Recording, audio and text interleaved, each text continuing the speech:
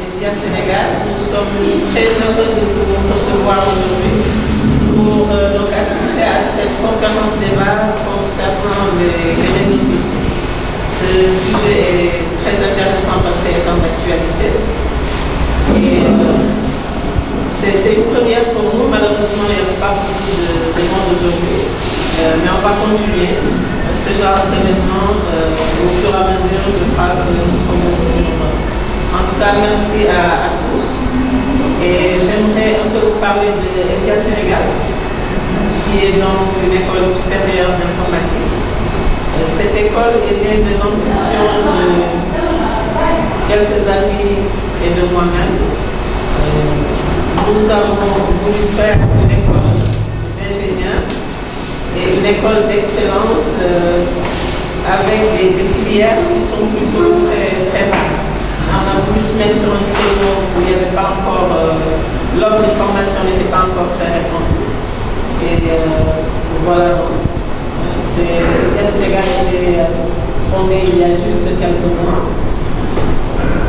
Nous, nous voulons et euh, nous savons que nous pouvons y arriver.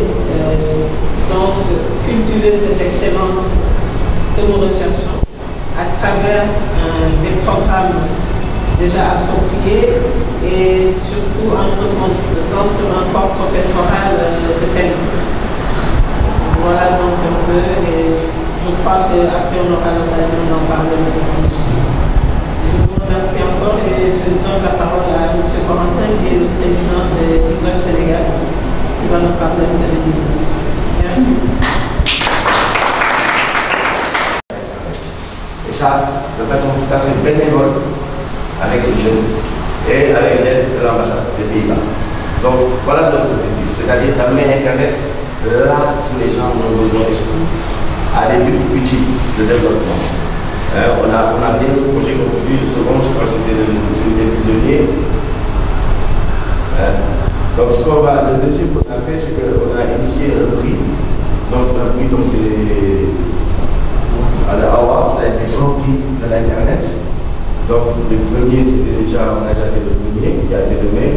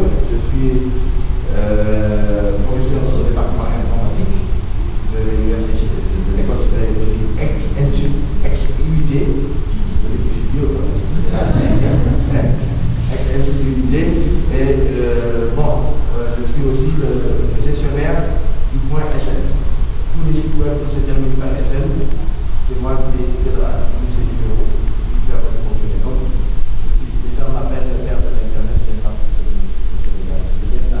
Et j'ai des vidéos à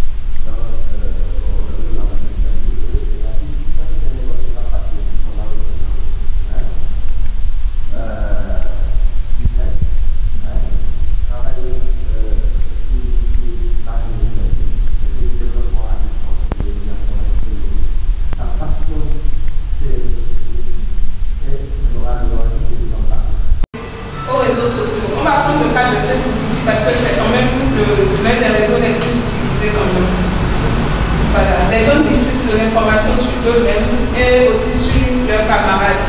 Vous êtes connecté exclusivement à vos amis, mais ça ne veut pas dire que ce que vous publiez sur Facebook, il y a que vos amis qui viennent voir. Parce que dès le moment où quelqu'un like un de vos posts, tous ses amis à lui peuvent y avoir accès. Des gens qui utilisent tout simplement ça pour un usage on peut facilement les retrouver. Et après, il faut peut-être aussi que les gens ne mesurent pas la portée des dégâts qu'ils posent sur les autres. Parce qu'aujourd'hui, je ne sais pas si vous le savez, mais les recruteurs utilisent beaucoup les réseaux sociaux. Donc après, il faut voir aussi ce que vous publiez, qu'est-ce que vous recherchez comme métier. C'est-à-dire qu'il n'y a pas vraiment de, mauvaise réputation numérique. Il faut se poser la réputation que l'on veut avoir. Donc ça dépend aussi dans quelle branche vous cherchez du boulot. C'est en fonction de ça que vous publiez les photos en fait. Pour déjà pallier à ça, ce n'est pas déjà que vous êtes que vous ne pouvez pas protéger exclusivement tout. Mais quand même, vous pouvez limiter les dégâts en allant dans le, les paramètres de confidentialité, comme on vous recommande sur ce slide. Vous avez la possibilité de restreindre l'accès à vos informations. Lorsque vous publiez quelque chose, vous faites une publication par exemple vous êtes libre de choisir de le mettre en mode public. Là, ce sont vos amis et les amis de vos amis qui ont accès. Vous pouvez le faire. Vous pouvez le restreindre à un groupe de personnes. Là, vous citez les noms. Ou alors, vous pouvez le restreindre exclusivement à vos amis. L'option moi uniquement fait que vous pouvez voir cette, il y a que vous pouvez voir cette photo-là pour cette publication. Quand vous faites une publication, bon, peut-être une publication que vous n'avez pas envie de supprimer, mais que vous n'avez plus envie que beaucoup de gens voient aussi. Il suffit d'aller vers la portée à vous uniquement, pas l'appareil exclusivement que sur votre page. Donc, pour ceux qui ne connaissaient pas cette, euh, cette partie de Facebook, il faut aller découvrir les paramètres de confidentialité. 0,1%. Donc, euh, même si tu te caches derrière des comptes fictifs, on peut vous localiser par les adresses comme, avec les adressités, avec, avec la localisation, tout ça. On peut vous le trouver. Peut-être ça devient un peu difficile parce que les adresses IP c'est partagé. Et on connaît le départ, et chaque pays c'est partagé. Par exemple, si c'est Sonatel, on nous annonce euh, d'autres bureaux qui viennent dans les trois au Sénégal pour le partager. Donc ça nous pose un problème. Maintenant, moi je voudrais savoir euh, quelle organisation, bien, quelle juridiction, bien, quel est le bureau qui supervise l'administrateur principal de, de, Facebook. Parce que c'est là où se trouve le problème. Parce que c'est lui seulement qui peut vendre les informations. Parce que moi, je peux me réveiller un jour, créer un réseau et vendre des informations. Parce que c'est fréquent aujourd'hui. Parce qu'il y a d'autres réseaux, on dit que Facebook, ce n'est plus d'actualité, il y a tel réseau, tel réseau. Moi, je peux créer un réseau et vendre des informations. Moi, je voulais savoir l'organisation, le bureau, la juridiction qui contrôle la base de données même de, de Facebook. Ça appartient à Facebook. Et je pense que, bon, tout à l'heure on en discutait, la NSA, je pense que c'est l'agence américaine. Actuellement, ils sont en train de faire la course à Facebook pour lui acheter sa base de données. Parce qu'ils savent que cette base de données contient beaucoup, beaucoup d'informations sur les gens. Et actuellement, en fait, c'est un peu les, bon, je veux dire, l'avantage inconvénient d'Internet. Parce que l'Internet, c'est un monde libre. On est supposé faire ce qu'on veut. C'est que Facebook aujourd'hui, les données que vous lui donnez appartiennent à Facebook. Et Facebook appartient à qui Mais ça appartient aux Américains. Donc les Américains maintenant nous tous. Bon, c'est pour ça qu'on disait que tout à l'heure, peut-être pour laisser M. Corentin terminer, c'est comme ça qu'on disait tout à l'heure, avant de publier des choses, faites très très attention. Parce que dès que vous les donnez, vous les avez donnés gratuitement. Facebook, même s'il a des données, relève d'une juridiction quelconque, et par exemple la juridiction américaine. Quand nécessaire, la juridiction américaine va appliquer la loi américaine sur la protection des données personnelles. Donc il y a toujours quelqu'un qui contrôle. Mais quel est l'intérêt de contrôler à 100% quelque chose? On ne le fait que quand il y a un dégât. C'est-à-dire, si le, les États-Unis s'aperçoivent que Facebook devient un danger, ils vont contrôler Facebook. Mais pour le moment, ça n'a aucun intérêt pour eux. Mais ne, croyez pas que vous êtes en dehors, que vous êtes un ovni dans le monde de l'Internet. Vous pouvez faire ce que vous voulez. C'est faux. Chaque pays a une législation. Quoi qu'il en soit, vous êtes citoyen d'un pays. Vous répondez d'une législation.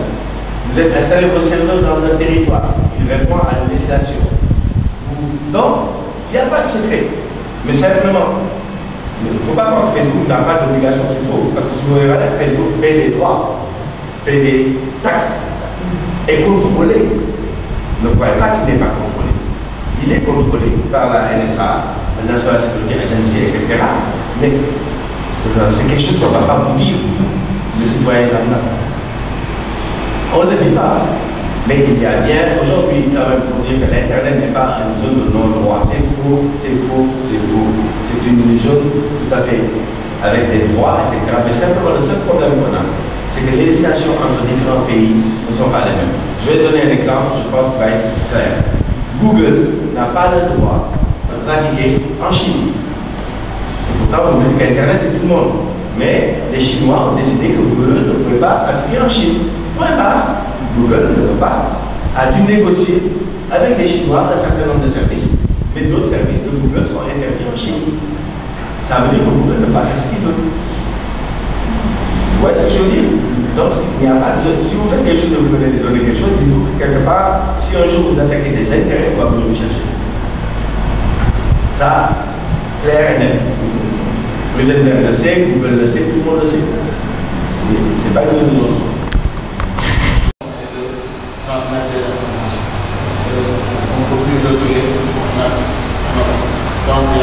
ဖြစ်တဲ့တဲ့လို့တော့ကြားမြင်သာတာမျိုးကြောက်စနေပေါ်လို့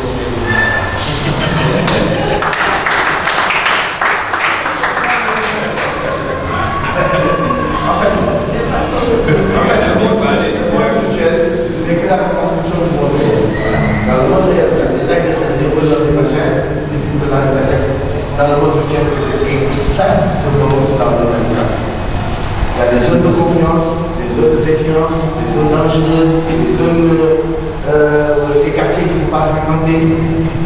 Euh, c'est la même chose. Donc, par contre, ce qui est clair aujourd'hui, c'est que aujourd'hui, plus personne, dans quelque métier que ce soit, ne peut se passer de cette technologie.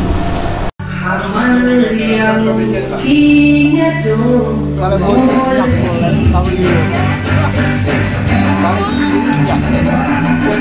akan atmosfera na delikatna voda.